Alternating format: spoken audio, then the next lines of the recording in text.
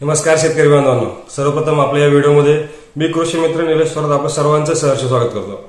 मित्रांनो जो तुम्ही सुरुवातीचा थांबलेला अर्थात जो फोटो सुद्धा बघितला असेल की टोमॅटो पिकावरती खात्रीशीर फवारणे.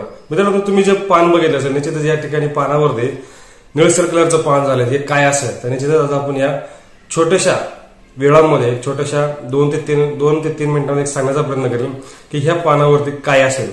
तर निश्चितच मित्रांनो अजूनपर्यंत जर आपण या कृषी मित्र निलेश स्पर्धा युट्यूब चॅनल सबस्क्रायबर नसेल केलं तर करून ठेवा. त्याचबरोबर बेल आयकॉन दाबायला या ठिकाणी विसरायचं नाही. आणि हा मित्रांनो निश्चितच हा व्हिडिओ तुम्ही शेवटपर्यंत पहा कारण स्टेप बाय स्टेप आपण या ठिकाणी माहिती देण्याचा प्रयत्न केलाय.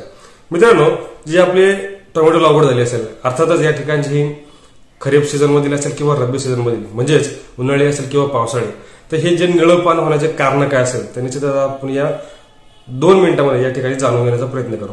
मित्रांनो लागवड झाल्यानंतर साधारणपणे पंचवीस तीस दिवसानंतर ना पंचवीस तीस दिवसापर्यंत या ठिकाणी बघा आपल्याला चांगला दिसून येतो. पण नंतर ना मित्रांनो ज्यावेळेस आपलं सेटिंग होण्याचा कालावधी असतो म्हणजेच फुलं लागण्याची वेळ असेल फुलाचं फळामध्ये रूपांतर म्हणजे ह्या प्रोसेसला चाळीस ते पंचेचाळीस दिवस आपण गृहित धरूया.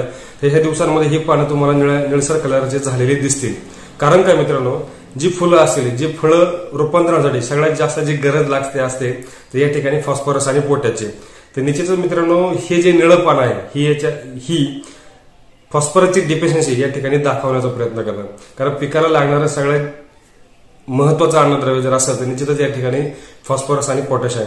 तर मित्रांनो फॉस्फरस जर कमतरता पडली तर निघणारं फुल हे कमी प्रमाणात निघतात. सेटिंग चांगल्या पद्धतीमध्ये होत नाही. जे निघणाऱ्या फुलांनुसार फुलांमधील जे अन्नद्रव्य असेल हे सुद्धा आपल्या पिकांना पोहोचत सुद्धा नाही त्यामुळे या ठिकाणी आपल्याला फॉस्फरस आणि पोटॅशयुक्त ज्या ग्रेड आहेत तर या ठिकाणी आपल्याला देण्याचा पहिला प्रयत्न करायचा आहे. तर निश्चितच मित्रांनो फॉस्फरस आणि पोटॅश आपण स्प्रेच्या माध्यमातून पण देऊ शकतो. त्याचबरोबर सॉइल ऍप्लिकेशन मित्रांनो फवारणी व्यवस्थापन करताना जे फॉस्फरस पोटॅश हा देणार आहे हा तात्पुरत्या स्वरूपातील आहे. पण आपल्याला जर पिकाला चांगल्या पद्धतीमध्ये जर झाडाची जर आपल्याला पूर्णपणे मॅनेजमेंट म्हणजे आपण झाडाची पूर्णपणे जर त्याला ताकद द्यायची असेल तर निश्चितच आपल्या ठिकाणी सॉइल ऍप्लिकेशन करणं गरजेचं राहील. तर सर्वात जास्त फॉस्फरिक फॉस्फरस आपल्याला मिळेल कुठे? कुठून मिळेल? तर निश्चितच आपल्या ठिकाणी सर्वात जास्त फॉस्फरस हा फॉस्फरिक ऍसिडच्या माध्यमातून मिळेल तो पण अवेलेबल स्वरूपातला. कारण फॉस्फरिक ऍसिडमध्ये पंच्याऐंशी टक्के फॉस्फरस हा अवेलेबल स्वरूपातला आहे. त्याबरोबर आपण कॉम्बिनेशनला मॅग्नेशियम देऊ शकतो. कारण पानातील हरिद्रव्य निर्मिती चांगल्या पद्धतीमध्ये तयार करण्यासाठी या ठिकाणी फॉस्फरसचा सुद्धा रोल ठरणार आहे. त्याचबरोबर मॅग्नेशियममुळे पानातील हरिद्रव्य निर्मिती झाल्यामुळे या ठिकाणी मिळणारं अन्नद्रव्य हे आहे. हे मुळांपासून तर पूर्ण पाण्याच्या शेंडापर्यंत चांगल्या पद्धतीने मिळणार आहे. त्यामुळे मित्रांनो सुरुवातीला या ठिकाणी फॉस्फरिक ऍसिड आणि मॅग्नेशियमचा चांगल्या पद्धतीमध्ये वापर करून घ्या. एकरी तीन किलो फॉस्फरिक ऍसिड आणि मॅग्नेशियम पाच किलो.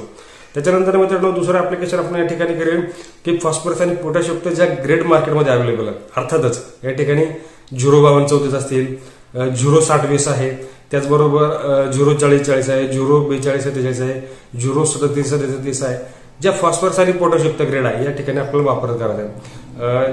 बऱ्याचशा ग्रेड आता नवीन मार्केटमध्ये काही ऑक्साईड फॉर्ममध्ये आहेत काही सल्फेट फॉर्ममध्ये आहेत. ज्या आपल्याकडे अवेलेबल असेल जवळच्या कृषी केंद्रामध्ये जे असणार अवेलेबल असेल त्या एखाद्या चांगल्या कंपनीचे एका ठिकाणी घेऊन आपण या ठिकाणी त्याचा वापर करायचा आहे. तर निश्चित मित्रांनो ठिकाणी फॉस्फरस आणि पोटाचा जर वापर केला तर जे असणारी अन्नद्रव्याची कमतरता आहे. या ठिकाणी जो फॉस्फरसची डेफिशियन्सी दाखवतोय ही पूर्णपणे या ठिकाणी आपल्याला नाहीशी झालेली दिसून येईल. तर निश्चितच मित्रांनो या ठिकाणी एक सांगण्याचा प्रयत्न केला की असणाऱ्या फॉस्फरस डेफिशियन्सीमुळे आपल्या पिकाला काय तोटे होऊ शकतात. तर निश्चितच मित्रांनो आपल्या या ठिकाणी चांगल्या पद्धतीमध्ये आपण फॉस्फरसची डेफिशियन्सी दूर करावी हीच एक अपेक्षा आहे. आणि मित्रांनो चांगल्या पद्धतीमध्ये जर नियोजन केलं तर निश्चितच आपला बाग सुद्धा हेल्दी आणि चांगला राहणार आहे.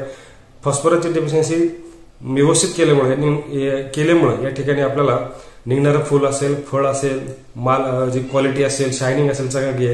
निश्चितच आपल्या या ठिकाणी फॉस्फरसच्या माध्यमातून या ठिकाणी चांगल्या पद्धतीमध्ये मिळणार आहे. तर निश्चितच मित्रांनो आपल्यासमोर एक दोन मिनिटामध्ये एक चांग दोन ते तीन मिनिटामध्ये चांगला सल्ला आपण शेतकरी बांधवांना सांगण्यासाठी प्रयत्न केलाय. निश्चितच तो तुम्हाला आवडला असेल अशी अपेक्षा करतो. मित्रांनो अजूनपर्यंत जर आपल्या युट्यूब चॅनल जर सबस्क्राईबर नसेल केलं तर करून ठेवा. त्याचबरोबर बेल आयकॉन दाबायला या ठिकाणी विसरायचं नाही.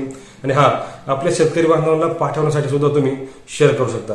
त्याचबरोबर मित्रांनो आपल्याला काही सांगायचं असेल काही सुचवायचं असेल तर निश्चितच आपल्या या कमेंट बॉक्समध्ये सुद्धा तुम्ही सांगू शकता.